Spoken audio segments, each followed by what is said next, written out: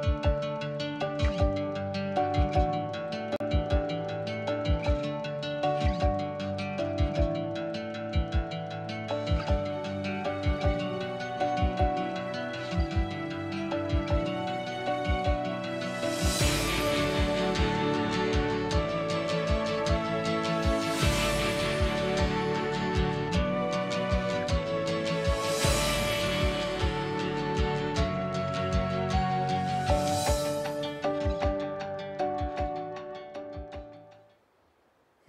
morning and good morning, blue sky.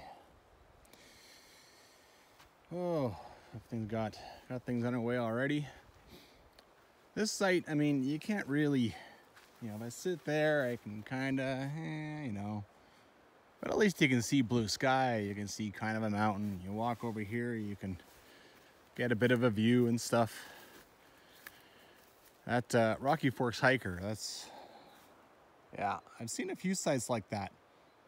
But, uh, you know, like, really the only functioning part is just uh, a spot for a tent. There's a, a, little fire pit and there's a stump. That's, I've seen a couple like that.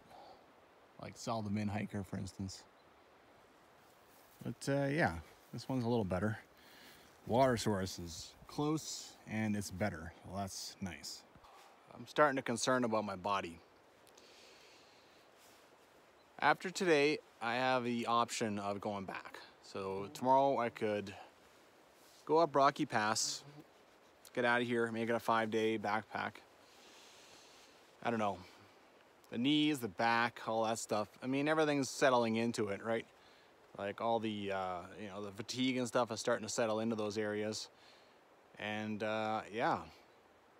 I mean, I remember the North Boundary Trail now a bit, but you know, you almost remember you know, you have that, you know, they talk about how people have their first child and it's hell and they don't get any sleep and all that. Three or four years later, they forgot about that. Then they have another kid. I feel like the North Boundary Trail has the same, you know, the long distance, you know, I had a bit of a, that same effect. I forget the toil and the constant fatigue and how hard it was. And I remember all the great stuff about it. So yeah, now I'm starting to remember and I have the option of going back. It's almost like a terrible thing, right? So I have to, you know, tonight I have to think about it for real. When I'm back at uh, Medicine Tent, I have to give it real thought and decide tomorrow, am I carrying on or am I going back? One thing about this water source is it does smell like sulfur right now. You know, and all the uh, the rocks are all like dirty. That's never a real good sign for uh, water. That's why I went down to the river last night and grabbed all my liters, three liters of water for my breakfast this morning. Eh, this will do for washing stuff though. Well, no matter what's going on, it's an absolutely beautiful day for a hike. A good old backpack and uh, yeah. I have 19 kilometers to go today. Long day. Hop tour. Such a gorgeous day.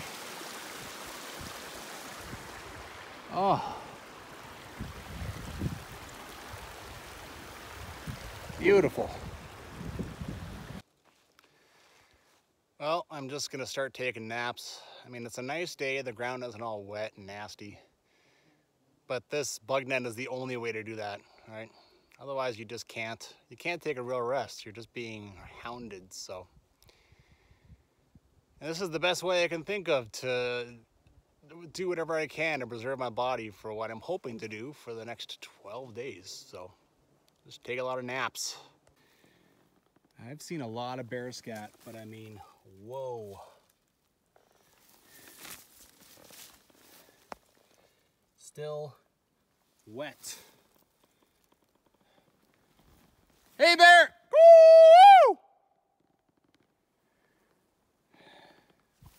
I've been yelling like crazy, and now I'm pretty happy I have because, geez, this bear could be 100 meters away. I'm sure he's heard me, but like that was, it hasn't been raining, so I know that that is, that wet is pretty recent.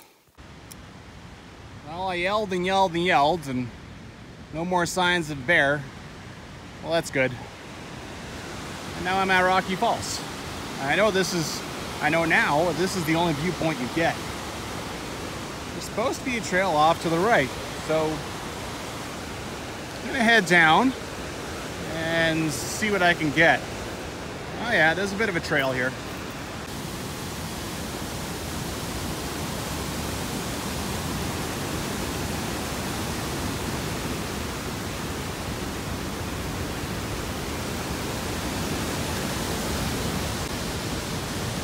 That is awesome, man. Look at that.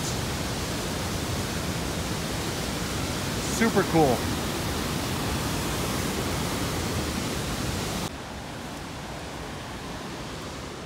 Came back up to my pack. I don't want to leave it too long with uh, those very recent bear droppings. And I didn't want to take it down there, which is where I was standing before. So, all right. I'll find something here to sit on. Let me buy my pack, and this is the best break, lunch, whatever spot of the day. Huh. Absolutely outstanding. Just in this little draw now, and I get another shot of this guy. That's a beauty from this angle. That is awesome. All right, so I'm back here. Yesterday, those of you who didn't watch, I came to this draw on the other side. I ended up going down there and I bushwhacked for like a kilometer trying to get back. This is what the trail looks like. You'll find a tree that's had all its branches chopped. And I'm gonna give you, uh, I'll see if I can give you more clues, but I'm also gonna put in uh, the coordinates down in this description so you can just copy and paste. Okay, that's looking back down the trail again. More trees with stuff that's been chopped off. All right, now it's right into the rocks here. Okay, I had followed the, the blazes to these opposing tree blazes. And I mean, the start of the trail is just over here. You come like this, and you look down there. It's just down there. All right, here's a little something for reference. Came through here a couple of days ago and there was a bunch of snow up there. There's still a little bit, but sure enough, it's gone. I thought, uh, I kind of figured that that snow had fallen the night before. I think I was right. Well, one down, one to go. I'm consistent, 330 again. This time I knew my way through it, but I also took more breaks, more naps. But I know I still got another nine kilometers left. It's funny. From the Rocky Horse Hiker Campground, it's one kilometer to the second intersection and the one everyone should use, frankly, to head over across Medicine Tent River and to Rocky Force, Rocky Horse, oh God, Rocky Forks Horse Campground and Rocky Forks Cabin, and from there onto the Southesk Lake Trail. So it's one kilometer. There's more deadfall on this one kilometer than there was all the way from the hiker campground all the way to the Rocky River crossing. Like for some reason, there just wasn't much deadfall there. It's weird. But in this one kilometer, I've stepped around and over all kinds of crap. So now I'm past the horse intersection back there, and I see a lot more of this, right? Astoria Outfitters comes through and uses this trail, so when they have uh, 25 horses, they tend to clear things out of the way.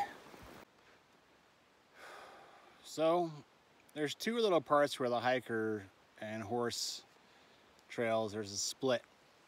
The one is off to Rocky Forks uh, Horse Campground and Warden Cabin, but there's one just after Medicine Tent. And if I'd remembered uh, what a pain in the butt the hiker one was, maybe I would have gone down the horse one. You never know. You know, the hiker one, there's one part you have to take off. I put that on video a couple of days ago. You have to take off your shoes anyways, so that's one. So you have two on the horse side for sure. Um, the willows are pretty bad in some places, like as bad as anywhere I've seen. And the Medicine Tent River invades a few times and makes for, you know, you have to do some kind of crappy, like some willow bashing to get through it. And it's a little hard to keep the trail. I actually lost the trail, like five, you know, maybe only five, ten minutes, but yeah, I had to go find it again, so. Uh, yeah, and then even when it gets flat, it gets muddy and boggy sometimes. So it's, maybe try that horse side. Who knows? Could be better. That is a welcome sight. My food is fine.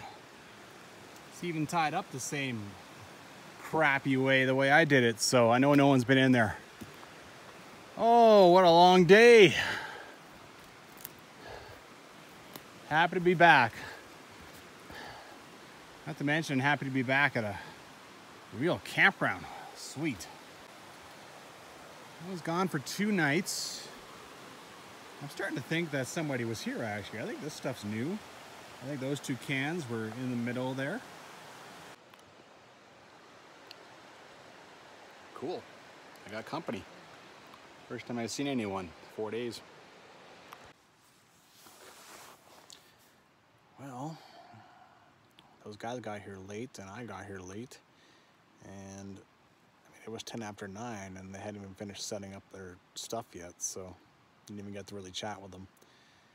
It's like, well, I got to set up everything in my tent still. And so not much, uh, not much ammo to combat loneliness. I really didn't really get to talk to them much. Maybe tomorrow over coffee or something if they're still around when I rouse.